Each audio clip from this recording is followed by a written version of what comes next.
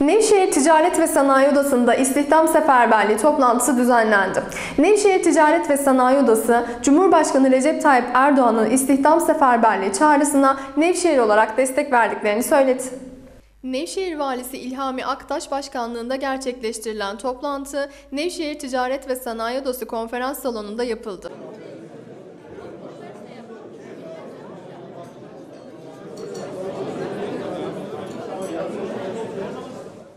Toplantıda ilk olarak kürsüye gelen Nevşehir Ticaret ve Sanayi Odası Başkanı Parmaksız, Cumhurbaşkanı Recep Tayyip Erdoğan'ın istihdam seferberliği çağrısına Nevşehir olarak destek verdiklerini söyledi. İstihdam Seferberliği 2019 kapsamında iş dünyasına ve girişimcilere 8 farklı teşvik sunulduğunu anlatan Parmaksız konuşmasında şunları söyledi. Cumhurbaşkanımız Sayın Recep Tayyip Erdoğan iş dünyasına yeni bir istihdam seferliği çağrısında bulundu. Sayın Cumhurbaşkanımızın bu çağrısının ardından Hazine ve Maliye Bakanımız, Aile, Çalışma ve Sosyal Hizmetler Bakanımız ve Türkiye Odalar ve Borsalar Birliği Başkanımız iki hafta boyunca yoğun bir şekilde çalışarak istihdam teşviklerini hazırladılar. Bunlara yönelik yasal düzenlemede hızla meclisten geçti ve resmi gazetede yayınlanarak yürürlüğe girdi.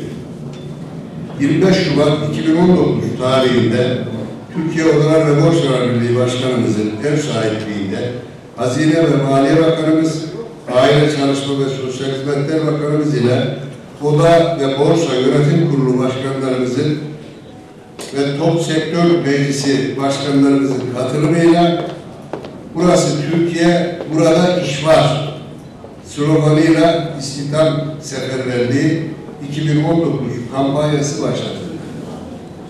İstihdam seferberliği 2019 kapsamında iş dünyamıza, girişimcilerimize 8 farklı teşvik göre sunuluyor. Ve bunların pek çoğu tarihi destekler nitelikte. Ben size bunlardan özellikle çok önemli gördüğümüz ikisinden bahsedeceğim. Birincisi Nisan ayı sonuna kadar sağlayacağımız her ilave istihdamı üç ay boyunca ücretini, sigorta primlerini ve vergisini devlet karşılıyor. Parmaksızın ardından kürsüye gelen Vali Aktaş, bölgede turizm ve tarım sezonunun yeni başladığı dönemde istihdam seferberliğinin önemli bir adım olduğunu aktardı. Devletin sağladığı desteklerin önemli olduğunu vurgulayan Aktaş, şimdi elemana ihtiyaç olmayabilir ama önümüzdeki ayları ve yılları düşünmemiz lazım. Ülke olarak tek şansımız üretmek. Ancak üreterek dışa bağımlılıktan kurtulabiliriz diyerek sözlerine şu şekilde devam etti. İstihdam Seferberliği 2019'un ilk e, ilimizde uygulanmasıyla ilgili Sayın e, Oda Başkanımızın davetiyle bir araya gelmiş bulunmaktayız. Hükümetimiz uzun zamandan beri senede hemen hemen e, bazı yıllar 2-3 sefer olmak üzere yeni istihdam teşvikleri hazırladı. Bu istihdam teşviklerinden tüm üreticilerimiz, tüm sanayicilerimiz, tüm esnafımız faydalandı.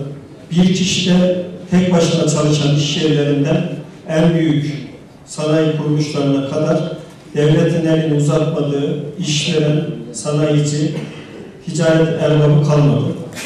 2019 seferberliği ile başlatılan ki diğer teşviklerin de birçoğu süre açısından devam ediyor. 2019 adıyla başlatılan seferberlikte de e, şu ana kadar yapılmışların belki en kapsamlısı, en uzun sürelisi ve en e, yekün katkının olduğu bir seferberlik. İnşallah bunun özellikle içinde bulunduğumuz bir seçim atmosferinde verdiği etkiyle hem kış mevsimi hem yolumuz açısından turizmde de tarımda da daha işlerin yeni yeni açılmaya başladığı dönemde bugün belki ihtiyaç olmayabilir, bugün belki yeni bir eleman almayı düşünmüyor olabilirsiniz ama 3 aylık bir süresi var bunun. Bu 3 aylık süreyi iyi değerlendirip zaten cebinizden başkanımızın anlattığı gibi bu 3 ay boyunca Nisan'ın sonu itibariyle hiçbir bir kuruş dahi çıkmayacak. Ama daha sonrasında 9 ila 15 aya kadar devletin sağladığı e, sigorta desteğine faydalanmış olacaksınız. Tabii bizim siz iş adamlarına hesap kitap yapma ya da yol gösterme gibi bir şeyimiz olamaz. En iyi hesabınızı kendiniz yaparsınız ama bugün hiçbir şekilde işinize yaramasa bile bugün e, dediğim gibi sektörel olarak da dönemsel olarak da kış mevsiminde yeni çıktığımızdan dolayı e, belki eleman, yeni bir eleman ihtiyacınız olmasa bile önümüzdeki bir seneyi, 9 ayı, işte engeller içinde 15 ay düşünerek bu konuda bir adım atmanız, bu seferberlikten, bu sizlere sağlanan haktan e, ilimiz adına en azından bir şekilde faydalanabilmemiz için hep beraber gayret sarf etmemiz gerekiyor. İstihdam Seferberliği toplantısı ve proje ile ilgili görüşlerini aldığımız davetliler ise Anadolu TV Haber Merkezi ekiplerine şu açıklamalarda bulundu. yapmışlar. Ama tabii esnafın, sanayicinin daha büyük beklentisi var. Beklenti destekler tabii ki güzel ama desteğin dışında şu andaki mevcut kanunların birazcık daha işverenden yana uygulanması mı diyeyim veya uygulanmayan mı diyeyim. Yüzde yüz haklı olduğumuz davada gidiyoruz ve yüzde yüz haksız olaraktan çıkıyoruz iş kanununda. Bunların bir an evvel yapılması lazım yoksa istihdam ters yönde oluyor. Şu anda herkes, biz tüm sanayiciler eleman çalıştırmaktan kaçmaya çalışıyor. Kanunların sıkıntısından dolayı. İnşallah bu desteklerin o boyutta da olaraktan giderse çok daha iyi olur. İstihdamı da sağlamaya devam ederiz. Proje güzel olmuş, kapsamlı. Ee, destekleri için hükümete de biz teşekkür ederiz. İnşallah bu uzun süreçli olur. Üretime e, katkı sağlayacağına, istihdama da katkı sağlayacağına ben eminim. Toplantıyı düzenleyen e, Ticaret Odası Başkanımıza, Ticaret Borsası Başkanımıza da teşekkür ederim. Şimdi e, Türkiye'de yaşayan insanların hepsine sahip çıkmamız lazım. Bu insanlar bizim insanlarımız. Devletin e, sıkıntısı da bu zaten. Şimdi e, son zamanlarda sıkıntılı bir süreç geçiriyoruz. Bu e, gerek e, uluslararası bir kriz, gerekse Türkiye'nin yaşadığı bir kriz. E, şimdi bu sıkıntıyı hep birlikte yanımıza biraz daha insan alarak e, istihdam etmemiz doğrudur. Buna da devletin katkısı tabii bizim işimizi de biraz kolaylaştırır. İnşallah e, güzel olur. E, biz de isteriz ülkede işsiz kalmasın. Yani bir tarafın var olup öbür tarafın olmaması hem ülkeye zarar hem e, insanlarımıza zarar.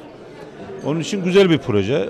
Ben e, yani e, destekliyorum böyle projeyi. E, yanıma da tabii e, almaya çalışacağım. E, benim gibi diğer arkadaşlarımız da e, herhalde katkıda bulunacaklar projeye. Bildiğimiz kadarıyla yanlış da bilmiyorsam e, şu anda bayağı bir eleman sayınız da var. Bu proje kapsamında kaç eleman e, alabilirsiniz? Yanımızda yüze yakın eleman çalışıyor. Bir 5-10 kişi alma durumumuz var yani. 10 kişi de alabiliriz. Toplantıya Nevşehir Ticaret Borsası Başkanı İbrahim Salaş, sivil toplum kuruluşu temsilcileri ve iş insanları katıldı.